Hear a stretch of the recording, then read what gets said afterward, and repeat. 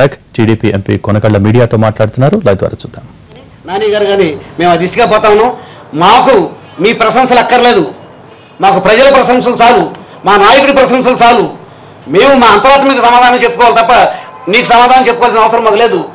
దయచేసి అదుపులో ఉండి హద్దుల్లో ఉండి ఒక మిత్రపక్షంతో ఎలా మాట్లాడాలి ఒక స్నేహితులతో ఎలా మాట్లాడాలి మీరు ఒకసారి నేర్చుకుని మీరు మాట్లాడితే బాగుంటుందని చెప్పి నేను పవన్ కళ్యాణ్ గారికి విజ్ఞప్తి చేస్తాను.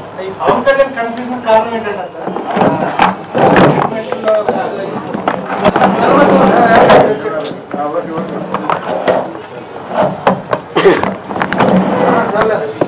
జనసేన అధినేత పవన్ కళ్యాణ్ గారు.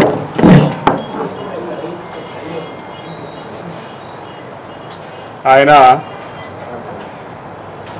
ఆరు నెలలకు ఒకసారి లేచి జూలు విధించినట్టు విధించి